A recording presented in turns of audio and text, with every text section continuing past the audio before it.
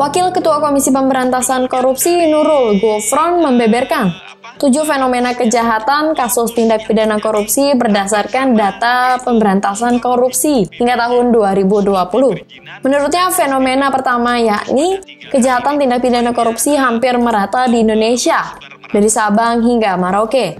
Kedua, sambung Gufron dari segi pelakunya relatif sama, yaitu pihak swasta kepada daerah, anggota dewan, pejabat pusat maupun daerah di masing-masing daerah.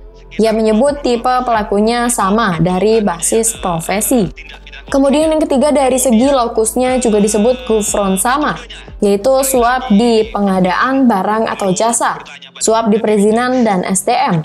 Kemudian yang ketiga dari segi fokus juga disebut gufron sama, yaitu suap di pengadaan barang atau jasa, suap di perizinan dan SDM. Keempat dari modus tindak pidana korupsi yang paling banyak adalah suap sebanyak 66%, pemerasan dan gratifikasi sekitar 22%. Kemudian yang kelima, kata Gufron, metodenya juga hampir sama, yaitu menggunakan uang tunai atau cash transfer rekening ataupun dengan mata uang asing.